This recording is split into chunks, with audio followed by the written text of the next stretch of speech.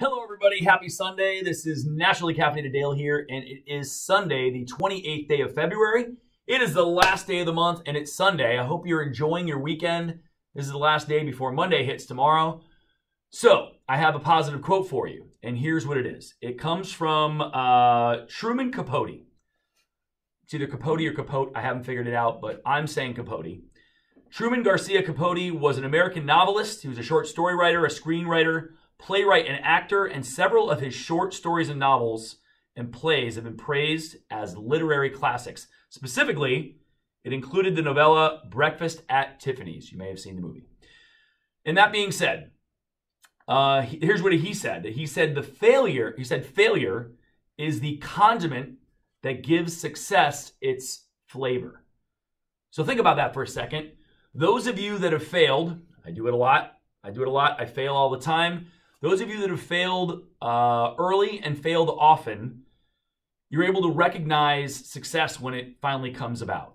And uh, if you look at anybody who's done things um, in life that, uh, you know, inventors, uh, leaders, uh, people that have kind of been successful in their life, um, a lot of them are really okay with sharing all of the failures they had to get to the point uh, of success that they eventually reached. So I would encourage you to go ahead and fail. It's okay. And not only fail, but be honest and comfortable discussing and talking about your failures because by doing that, you're able to realize what you need to do to improve, how you can become better, um, whatever it's going to take to help you move forward in your journey.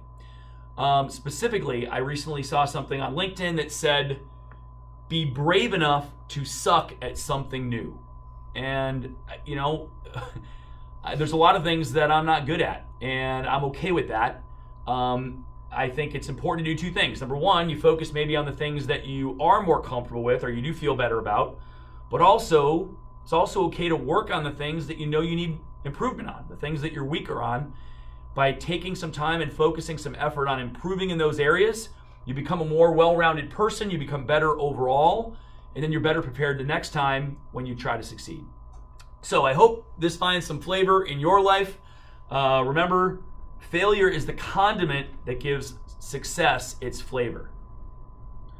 Go ahead and like, subscribe, turn on post notifications, tell your friends, and I will talk to you again tomorrow.